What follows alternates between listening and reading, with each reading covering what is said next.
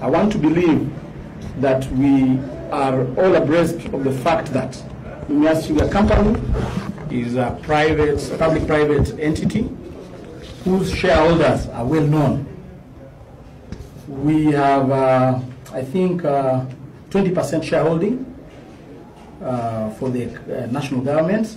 We have uh, 78% shareholding of, uh, of, I think, lenders and other, other stakeholders, and we have 2% shareholding of uh, farmers and individuals. huh? And uh, I do not see anywhere where the county government, the county government gets in the formation legally of Mumias Sugar Company. So I think in the first instance it was a mistake for the county government to directly to directly get involved in uh, issues of Mumias Sugar using a legal framework that was even gazetted to want to make decisions on behalf of a private company.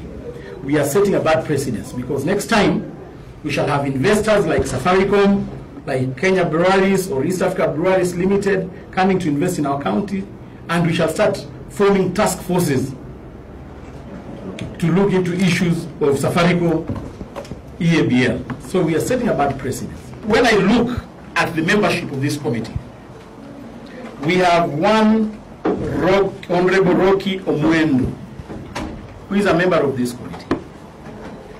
Uh, I would want us to look into issues of conflicts of interest because the said honorable member is a tenant at Mumias Sugar.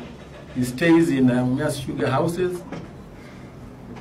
We have record that he has not paid rent for almost two years, and yet he's seated in a task force that wants to revive Sugar. Part of the issues that we are looking at are assets of Sugar which have been mismanaged. Those houses are part of the assets of Sugar which have been mismanaged. People have not been paying rent. Sugar has got almost well over 2,000 houses. 2,000 houses.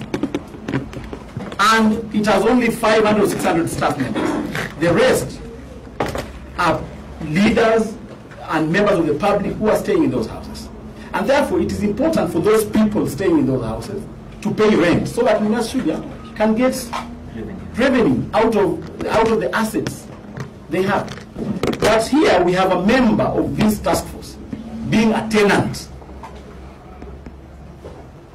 and yet he's part of this task force. And therefore we have expressed conflict of interest when it comes to the membership of these uh, uh, of these uh, committees. So I would want to request and appeal for Honorable Rocky Omwendo to honorably disqualify himself because he's an interested party.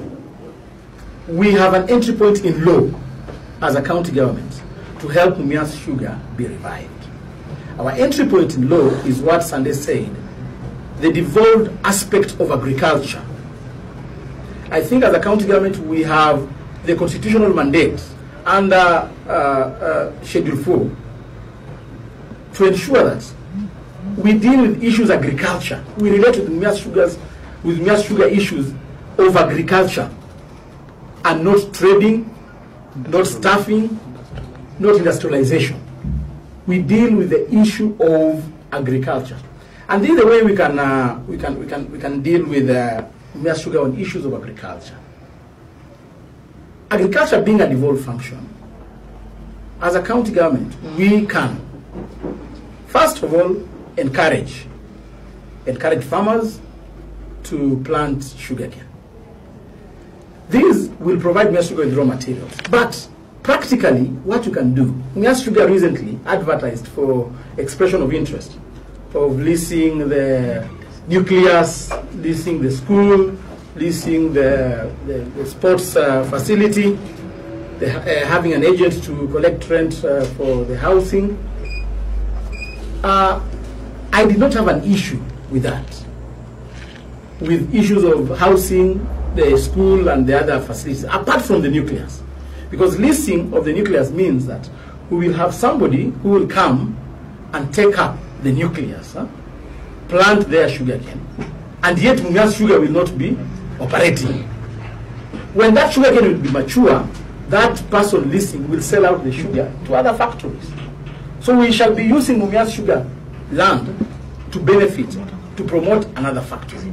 So I am against the issue of Sugar leasing its nucleus to an unknown person or investor. What the county government and Sugar should do, they should find a collaborative mechanism in which Sugar can lease the nucleus to county government.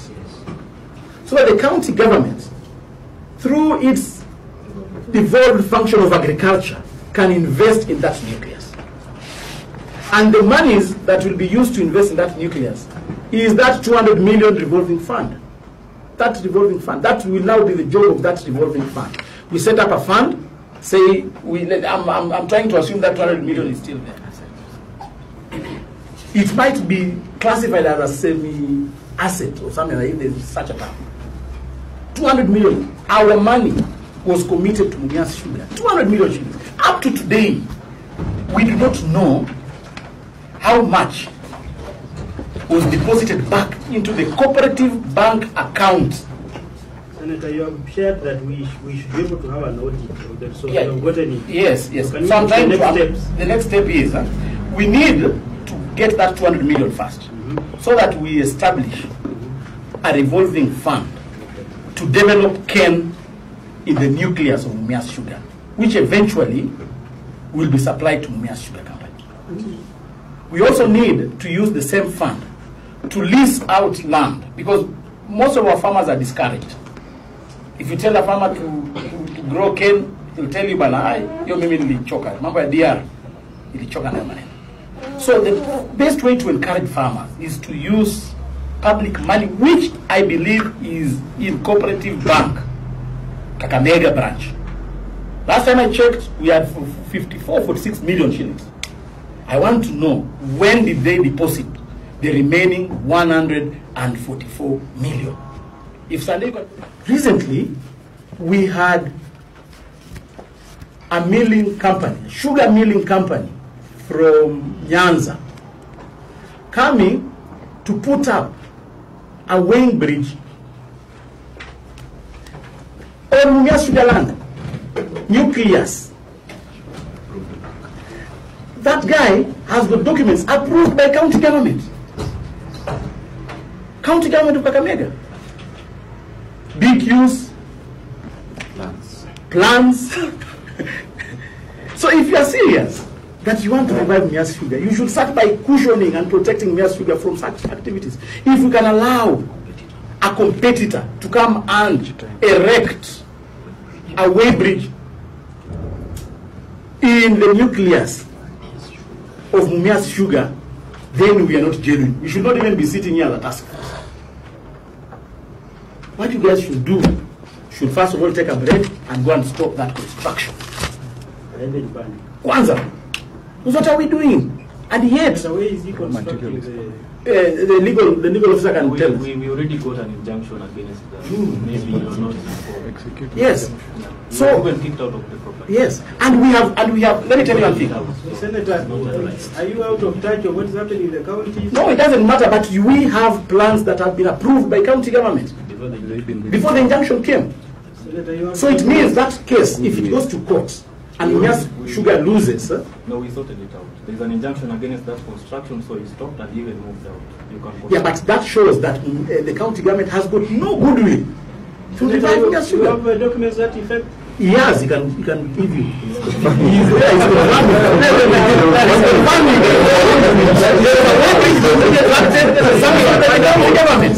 Senator, you know you are under oath. Yes. The worst scenario you can do is to lie under oath. I'm not, I'm not lying because I'm being Because, uh, seconded by the legal officer that- you are telling us that this man is still on site, he already left the site.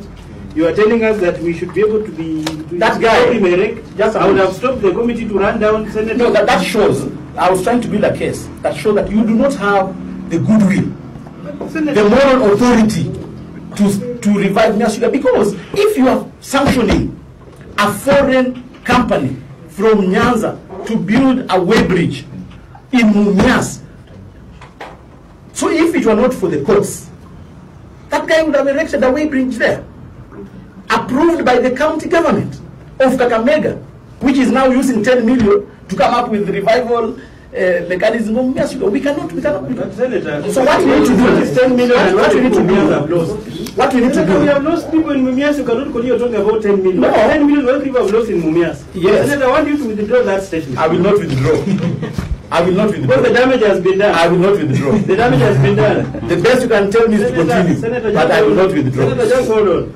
10 million and even people dying in Mumias, Senator, And sanctioning a way bridge in Mumias nucleus. which you don't have evidence. We have evidence. I have I have a witness here. Here. In your force. In your force. I have a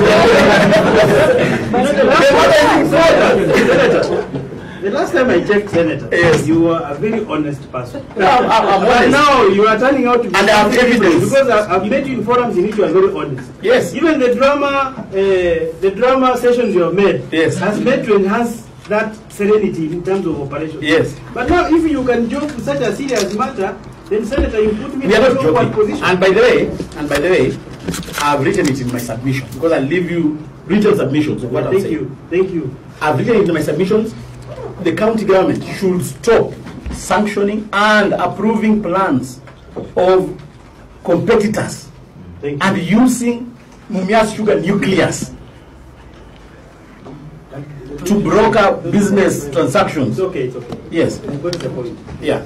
So, I want to correct this notion that RAI has compromised the senator of Kakamega. I want to remind you, as the CEC in charge of industrialization, is an investor in Kakamega. He's not your enemy. And if at all you want to profile your investors, and that's why I say the government has got no goodwill to ensure that investors are cushioned. Rai has invested in our county. He has employed he has employed uh, almost 3,000 people in Kabaras and, and the environs. Rai has, has contracted 70,000 farmers from Kakamega County. Hmm. It is important to note that as the senator, hmm. my mandate, part of my mandate is to represent the people of Kakamega. Rai is a resident of Kakamega, an investor in Kakamega, and I have, cannot be ashamed to say that I'll stand with Rai. I'll stand with Butali. The people of Malava constituency, Kabaras people, also voted for this government. This is not a government for Maramas and these. You must push on everybody. If we have an industry in Kabaras land, we must have leaders who can protect and cushion the industries in Kabaras land. So the issue is not Mumias Sugar alone. We have other, industries in Kakamega. We are cushioning Mumias the way we are seated here, but let us not antagonize other industries within our jurisdiction. It's very sad for you as the CEC to start profiling an investor under your docket.